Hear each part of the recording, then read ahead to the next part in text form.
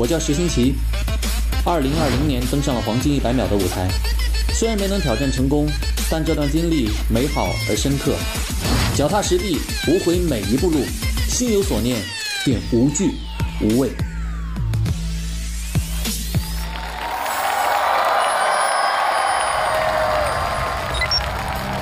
哎呦，这首歌送给十年间的自己。如果你也有相同的感受，那这首歌我也送给你。那一年我刚好大学毕业，带着热血和斗志踏足新的地界，不曾怀疑自己，我不管南北东西，用全部力量向未知挑战发起正面攻击。Bam！可事实没有想的那么容易，你以为可以做个栋梁，却只是个奴隶，被奴役却不服气，我只能改变自己，收起了我的脾气，只为寻求一丝转机。这个世界最不经意的就是时间，你还没反应过来就被他夺去十年，回头看看身后的背影，无限被拉长，渐行渐远。不再有当初单纯的脸庞，我想要追寻着内心澎湃的脉搏，我想要独一无二追逐梦的生活。我应该从何下手？王冠要如何争夺？哪怕是赴汤蹈火，全部荆棘，绝不退缩。看着镜子里的我，睁开双眼不闪躲。时间被什么蹉跎？最好最坏的都属于我。别在意不堪的过去，整段曾经的记忆，永远都相信自己，在未来遇见更好的你。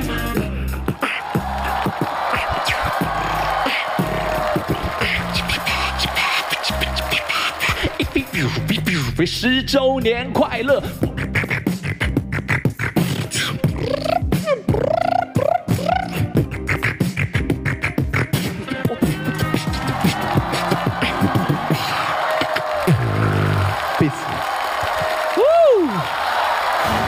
谢谢，谢谢石新奇的表演。有请我们现场的黄金观众投票。我要特别介绍一下石新奇，刚才这首作品叫《撞南墙》，这是他自己写的一首原创的作品。是的，是的，这首歌呢，就是记录了我这十年来的一些心境吧。当时从我的家乡到北京来做了一个北漂一族，然后也有。签约一些经纪公司，后来因为一些大大小小的问题吧，然后解散的解散，倒闭的倒闭，也不甘心这么早就回去，自己就大活小活的去揽去做，也遇到了很多不好的人和事。这首歌挺励志的，因为新奇他是重庆人，所以你当时做北漂的时候，其实是背井离乡的，要离开家乡。就是你在做这样的决定的时候，包括在北京没有取得想要的成功，家里人有没有不同的意见？比如说你回来吧。别混了，是有过的，因为出于关心嘛，家人肯定都会想让你有一个更稳定、更安逸的一个生活环境和工作环境。但是出于对我的另一种爱吧，他们也会尊重我的选择。可以理解成父母的一种心疼和担心，对吧？对对对，很多人在成长的阶段都会遇到选择的问题，所以过去才有那句话叫“不撞南墙不回头”嘛。对，其实我们每个人都有自己对你想要的东西的那种执着的程度，但是我总觉得吧，人的这一辈子特别短，所以我觉得不管是年轻人也好，还是上了年纪的朋友也好，能够在有限的时间里尽量的去追寻自己喜欢的东西就够了。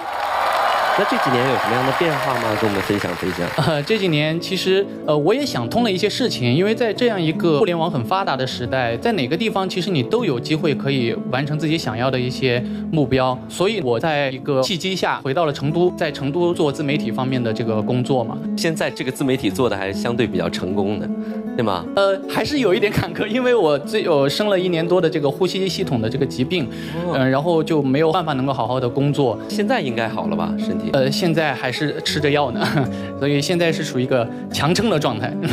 哎呀，但是没关系，我觉得在这样的一个情境下，嗯，其实遇到的一些坎坷和困难，对于我来说是一种反向的激励，暂且当成一种考验，对不对？对。那接下来看看石新奇这一次再次站上舞台，他有没有可能入围人气榜的前三？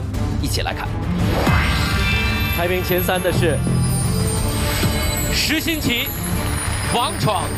毕力格，谢谢谢谢大家，谢谢大家，加油！那接下来有什么样的感悟可以写在我们的时光寄语上面？每个人都有自己不容易的一个地方，但是我们要展现给大家的就是你最好的一面，就 OK 了。